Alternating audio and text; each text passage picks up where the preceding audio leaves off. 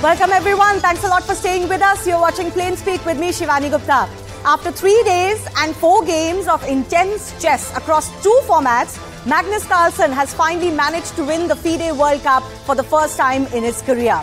He defeated India's Praggnanandhaa in the final. The 18-year-old teenage prodigy who dragged the world number one Carlsen through to the tiebreaker after two classical games ended in a draw. Regardless of the final loss, the FIDE World Cup has been an event to savor for the teenager from Chennai. On his way to the final, remember, Prag had ended the campaigns of both world number two, Hikaru Nakamura, and world number three, Fabiano Caruana, via tie breaks as well, before pushing Carlsen's quest for his first ever World Cup title also through to a tie break. Seeded 31, Prag is the lowest seed to make the final of the World Cup. He's the youngest World Cup finalist ever and the list goes on. Now Prag also becomes the third youngest player after legendary Bobby Fischer and Carlsen himself to qualify for the candidates tournament. This tournament, remember, is held to find the challenger for the reigning world champion, in this case, Ding Liren, at the next World Chess Championship finals. Praggnanandhaa might not have won the tournament, but it's just a beginning for him. He surely has won a billion hearts with his impeccable moves on the chessboard. So, are we looking at the next world champion from India to succeed in the footsteps of the legendary Viswanathan Anand? We'll take that question to our special guest joining us in just a bit. But let me just, for the benefit of our viewers, take you through how this final panned out. So, there were two classical games that were played first. As far as the classic game 1 is concerned, this ended in a draw after 35 moves. Magnus Carlsen revealed later that actually he was suffering from food poisoning and therefore his energies were low. Now, both the players didn't really rush their moves as far as the classic game 1 is concerned, and this game lasted for about 3 hours, so it was a long drawn one. Now, classic game 2 this ended in a draw after just 30 moves from each side. Prag and Carlsen lost their queens by move 10. The heavy pieces of both the players were decimated very quickly, the game ended with the same color bishops and symmetrical pawn structure. But remember, it has been said that as far as the classic game 2 is concerned, it was clear the Magnus Carlsen was willing to settle for a draw or push for one and not really push for a victory. So then came the tiebreaker. The first two games were 25 minutes each with a bonus of 10 seconds after every move for each player. That's the rapid game 1. Magnus uh, Carlsen won this game and Praggnanandhaa ran out of time towards the end. That forced an error from him to, uh, as well. He was basically boxed in because of the clock pressure as well. In Rapid Game 2, which ended in a draw, gave Magnus Carlsen the title because he kept his 1 0 lead. That game slipped away from Prag's hand after just 21 moves.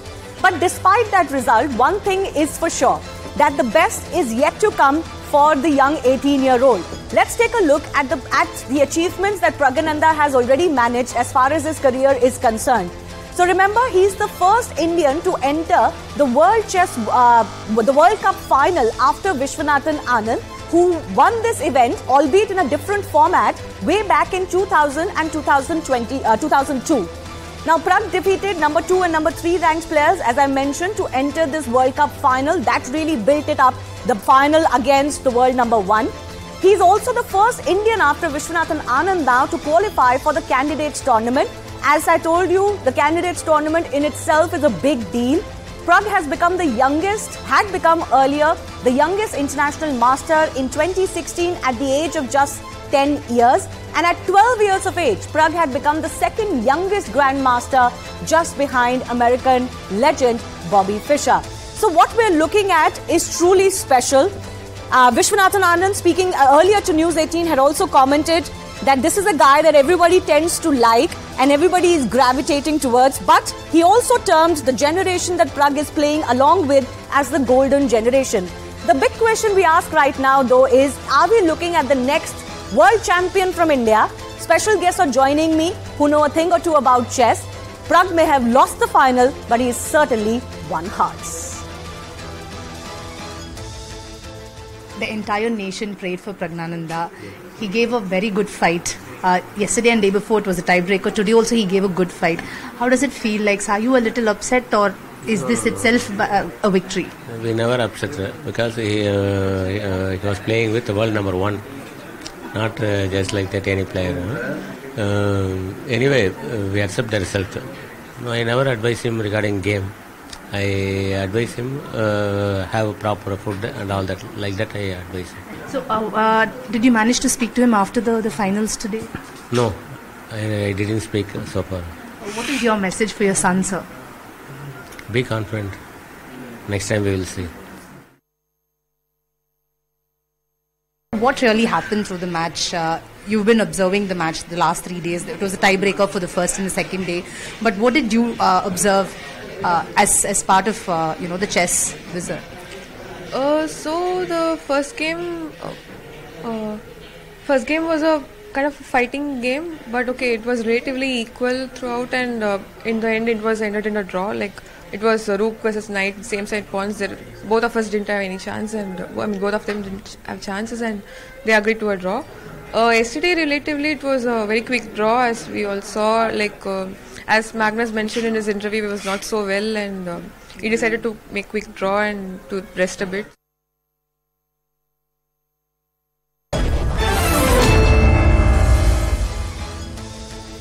Let's go across to some of our special guests joining us. Indian Grandmaster Praveen Thipse is with us. Tanya Sachdev, also the Indian, Indian chess player, and Soumya Swaminathan, International Master and Woman Grandmaster India, all with us. Thanks a lot for your time. Praveen, let me begin with you.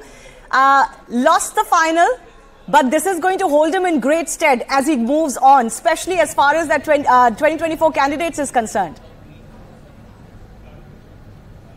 Yes, I think uh, to qualify to the candidates is basically one of the uh, greatest uh, achievement at this age, one could say, because uh, you know, like uh, nobody had uh, qualified, no Indian had qualified to this uh, stage. In fact, we, a lot of our players played World Cup, but none of them had gone beyond uh, round four earlier. And this time we saw in last eight there were four Indians. So uh, India is now at a different uh, uh, level com- completely, and uh, we are going to play for the World Championship. And Pragnanan, because of his nerves and quality of play, he happened to uh, be here playing against Carlsen, and he had to face the strongest opposition among the Indians. So, okay, Gukesh played Carlsen a bit earlier, but the strongest oppo- opposition uh, faced, and in spite of that, uh, he was just able to get to the final and also to make a draw in the classical match against Carlsen itself is a great achievement because Carlsen had won won five previous matches in classical itself. He didn't go to the tiebreak after the second round. Yes.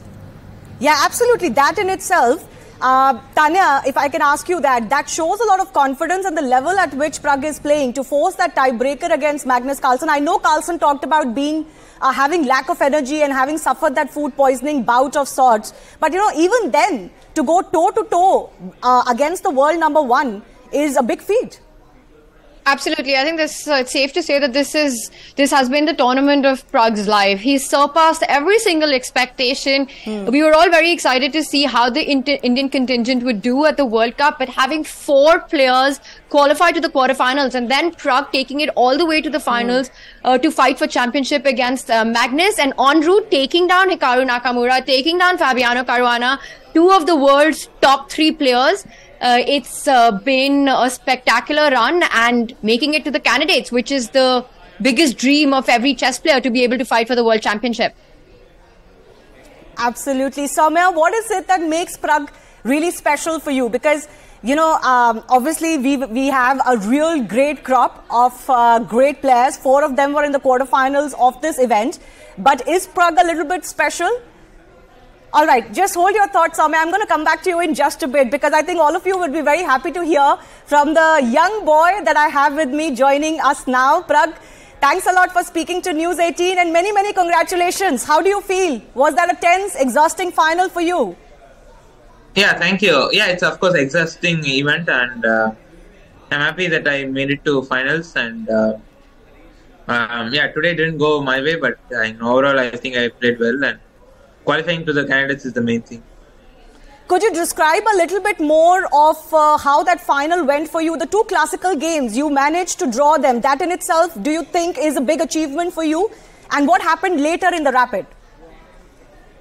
Yeah, uh, I wouldn't say it's a it's a big achievement uh, drawing to classical games, but yeah, I could have maybe tried a bit better in the uh, in the in the tie breaks. But yeah, it's uh, tough to play Magnus. Um, uh, like he's, he's of course strongest player in the world. So, uh, especially as far as rapid game one was concerned, uh, did you feel the clock pressure that really got to you? Yeah, of course, it's a shorter time control, so there there's time pressure uh, there.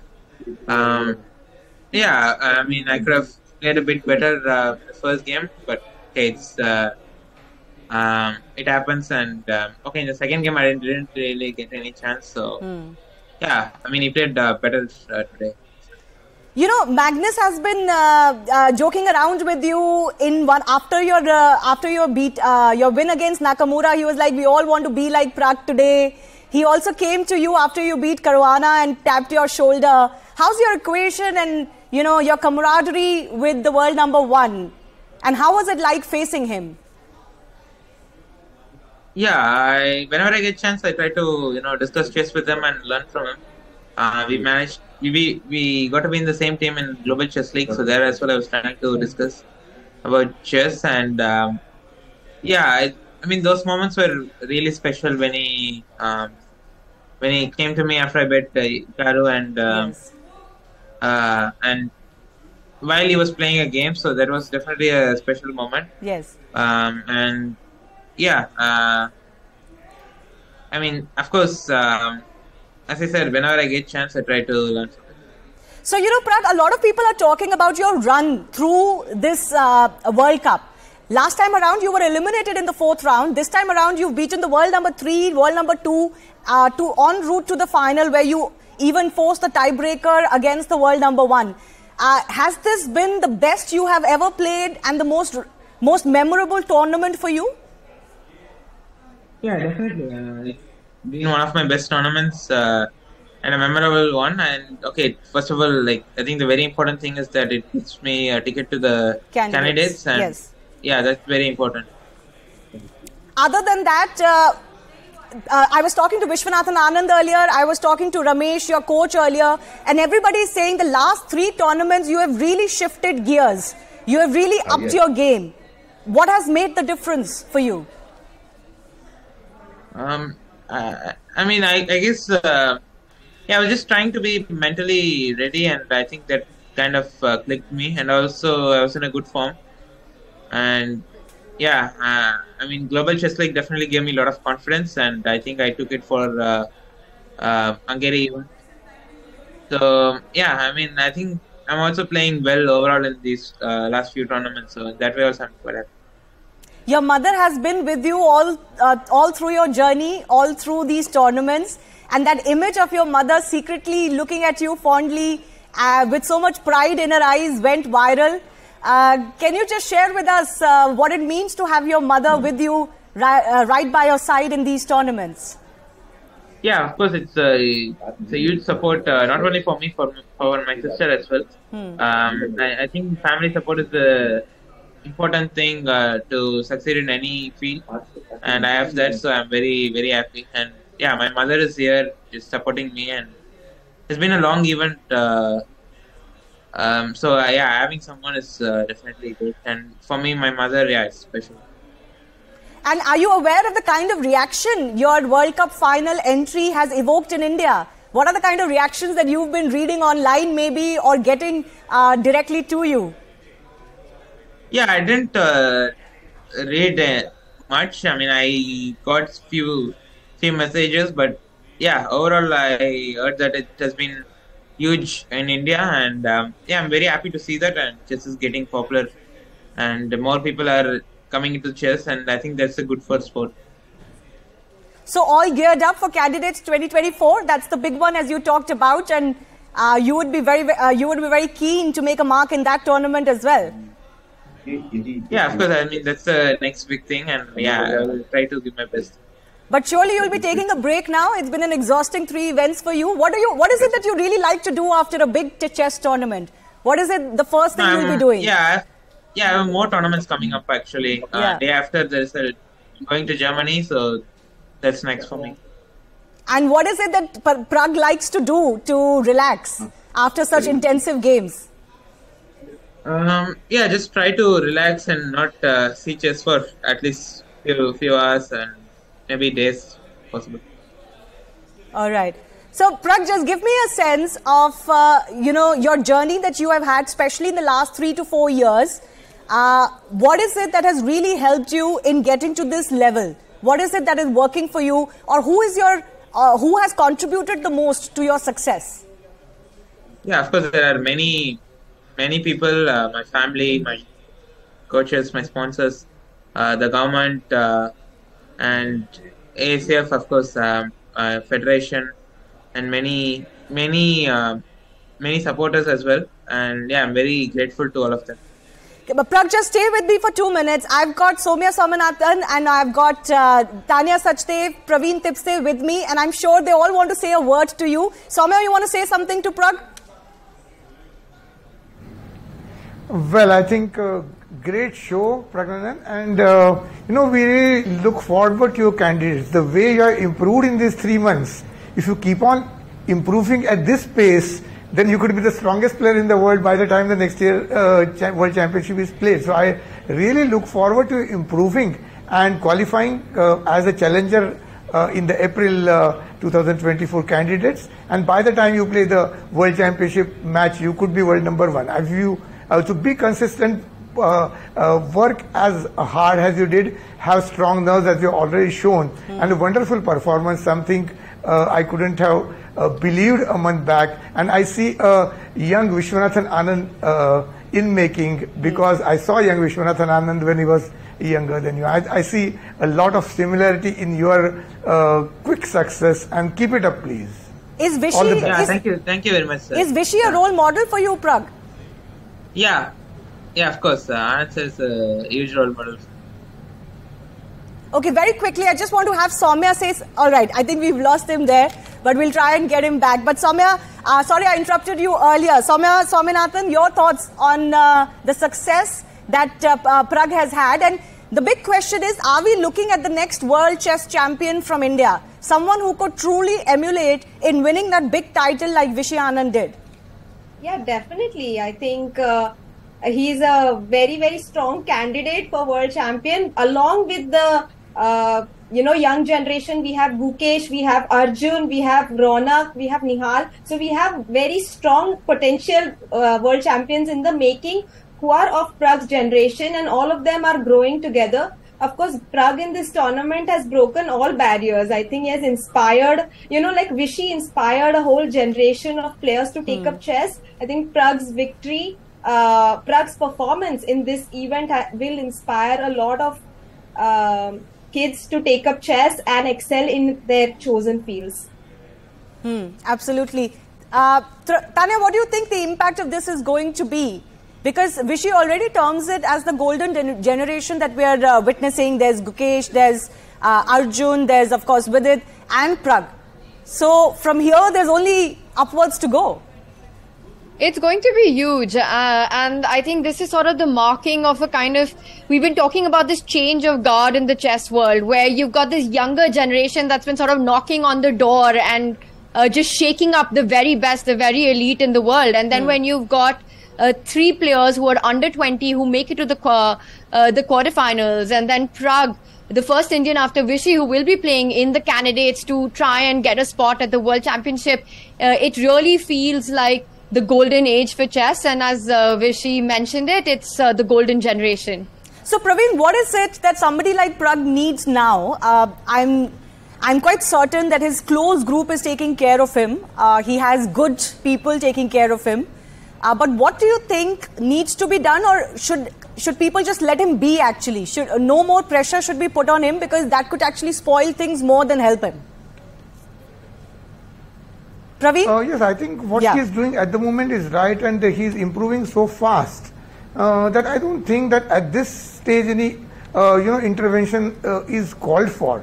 I, in fact, I watched uh, his training sessions with his uh, trainer RB Ramesh. I was there to watch as a head of the delegation in the Olympiad, and um, I found was that the uh, sort of energy uh, Prag showed, and a lot, other youngsters as well. So uh, it became very clear last year itself that sky was the limit for these players, and that perhaps could be said only about Viswanathan Anand uh, three decades back. So I think at this moment Pragg is being very consistent, and at some stage he finds that he hasn't played as well as he played last month or something, and uh, say in a couple of months, then I think he should seek advice of Viswanathan Anand. Yes. Uh, I think the all-time uh, great uh, sportsman of India, the one who has had a lot of ups and downs. He won the titles, he won, he lost the titles, and so on. And a person who won a World Rapid Championship at the age of 50, which can be taken as a phenomenon. So, of course, if something goes wrong for a short while, Pragg has a Pragg, Pragg could have uh, somebody like Viswanathan Anand as his mentor. But at the moment, his parents and his uh, trainer uh, RB Ramesh, they are doing very well. And 99% of course is Pragg's own because Yeah. he's not the only student of the coach and he's not the only person who has these facilities. No, So absolutely. You have to have obviously the talent I must say. and the genius of your own uh, to make it this far. But Soumya, I want to understand from you too. Uh, what is it that Prag would need when he goes into the candidates? Of course, his game is there. He can, you know, he can uh, work on that a little bit more uh, and uh, figure out some more strategies, hone his skills. But I think more than that, it is the nerve and the confidence that he has displayed in the World Cup that is needed, isn't it? Definitely, and actually, I was observing his body language in this tournament and uh, previous few tournaments. He has grown leaps and bounds in terms of his confidence. And uh, today he was playing the man himself, Magnus Carlsen, who is known for his confidence over the board. And Pragg didn't look nervous at all, uh, which is a great sign. I think he's doing a lot of things right. Uh, and uh, he also needs to build a good team. I saw that uh, Grandmaster M. Shyam Sundar was accompanying him in this tournament as a second. I saw some images. So that's good that he's building a team. And as far as mentorship goes, he's also part of the Westbridge Anand Academy, where he does get mentorship from Anand himself. So I think he's in good hands and uh, he can uh, chart a good journey for himself ahead. Yes, you know, when I asked Vishy, did you tell him anything about how to face Magnus? He was like, you know, he was, uh, Vishy was there in Baku for a few days before he came back to India. He's obviously traveling again. And he was like, you know, every time I thought of speaking to him, I was like, okay, maybe I should leave him alone because he's going to be very focused. And nobody knew at that time that he was going to get into the final to play Magnus Carlsen. But he did say that I and Pragg have talked about Magnus Carlsen in the past. Magnus Carlsen, of course, being the one who defeated Vishy Anand in 2013 uh, to take away his World Chess Championship title. But Tanya, as far as chess in the country is concerned, we are obviously one of the top countries. We keep producing great talent like all of you all, and of course Pragg and uh, Arjun and Gukesh and others. But is there anything that is missing in chess in India that is needed to give it that further growth spurt? I think all these youngsters, uh, the right ingredients, the potential, the talent, the hard work, uh, everything is there. And you know, you were saying, what does it take to make it to that next stop? That is the world championship title. And uh, how do you get? How do you make it past the candidates? So I, I think it's they have they all have the potential. Uh, India is the big chess superpower, the country that everybody is talking about, where we've got 83 grandmasters right now. One 18 year old who turned 18 at the World Cup has made it to the candidates. Uh, so it's what more is needed. I think there are these factors that come together. You have to not put the pressure. You have to let them have their journey, let them see where it goes. The more we co- keep talking about becoming the world champion, becoming the world champion, I feel like it doesn't really add Yes. add to it. Uh, but they all have what it takes, and we just have to wait and watch. And for Prag, this has really been that moment where you know that he's up there with the very best in the world. The last year he's had has been phenomenal performances. Uh, he has this amazing ability to calculate precisely, to not fear who he's playing against, to play with confidence, have incredible nerves when he's low on the clock. And that has gotten him so far in this tournament. Uh, and it's going to be amazing to see what he brings to the board in his first candidates event. Absolutely. We're all uh, very excited about that already. And, you know, that's the beauty of the impact that Pragg in the final of the World Cup has had. I want a word also, Soumya, about his family. You know, those images of his mother looking at him. That really is the stuff that warms your hearts, isn't it?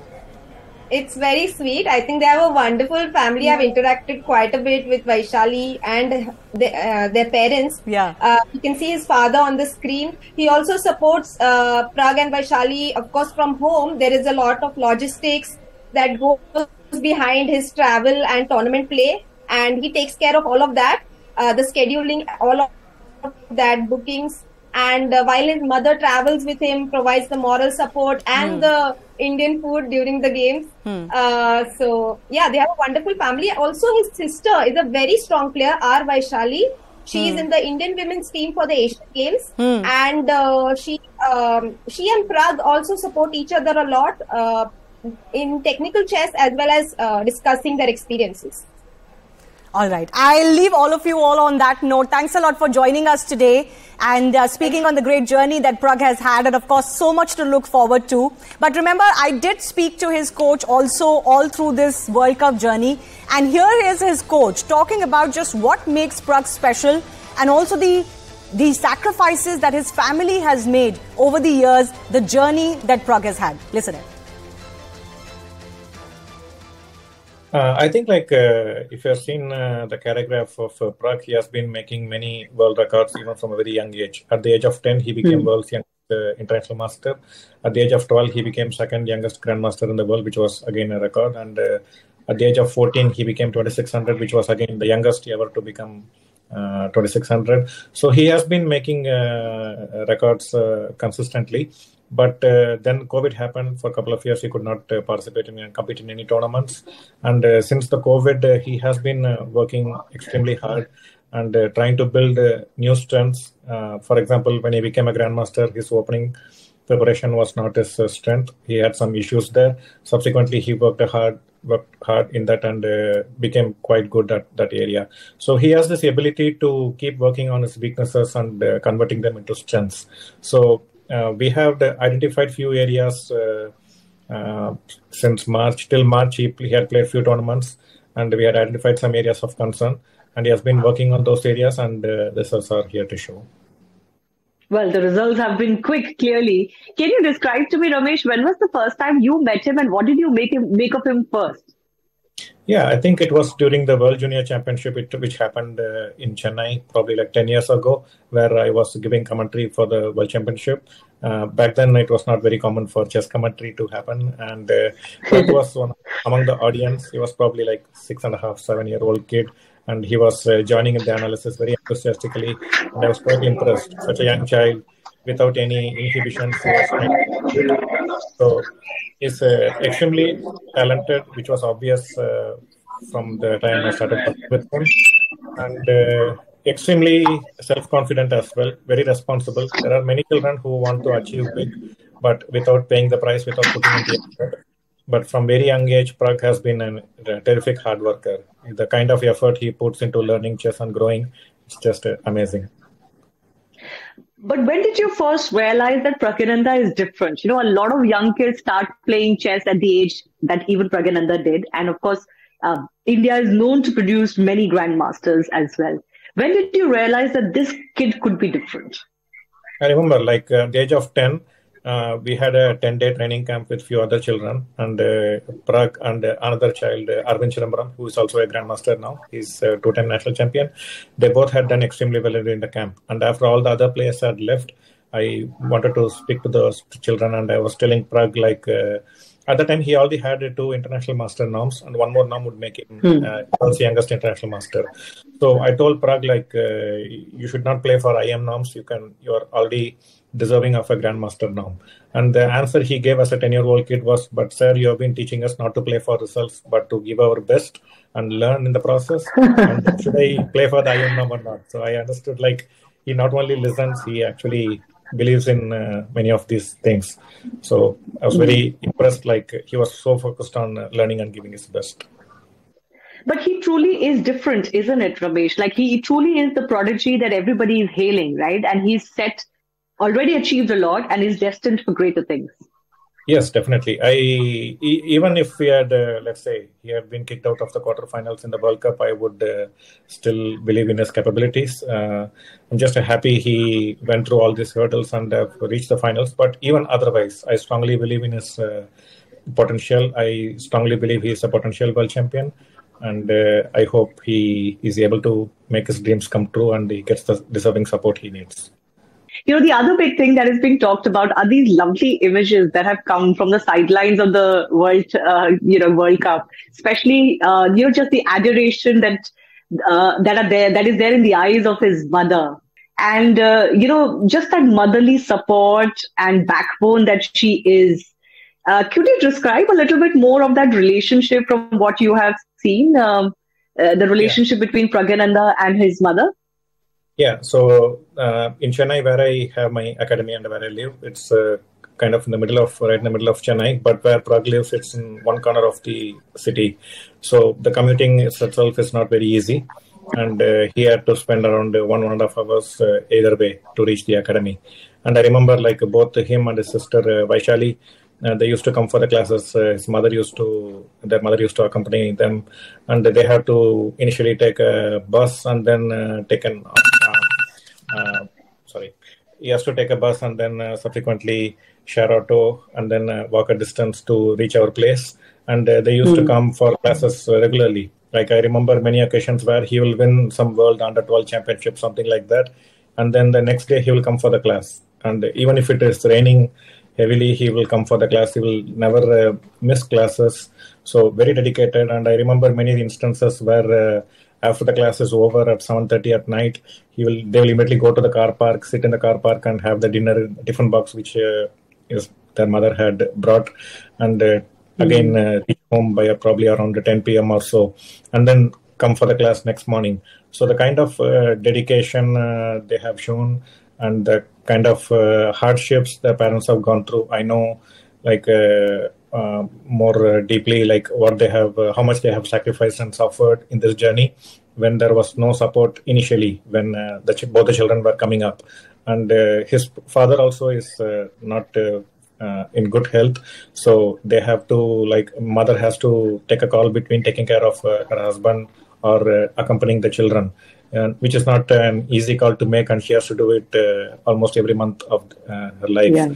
so lot of sacrifices from uh, both the parents, and I'm really happy that uh, uh, the children have taken the responsibility and paid back in full. Absolutely. You know, it fills your heart with so much joy and love just to see those images. Uh, both yeah. of Vaishali also, but you know, especially the mother and the son relationship. And you know, from two years ago when Praggnanandhaa was like uh, lower in height than his mother. Today, he's towering over his mother. He has obviously had his growth spurt, but it's so nice to even see Praggnanandhaa evolve into such a confident young kid, right? Uh, the way he's yes. speaking at the World Cup, uh, it's yeah. very confident, isn't it? So yes, earlier like uh, uh, Anish Giri, there is another player from Netherlands. He's a top five player in the world. Uh, everyone used to make fun of Prag's interviews. Like the question will be like, five minute long question and Prag's answer will be yes.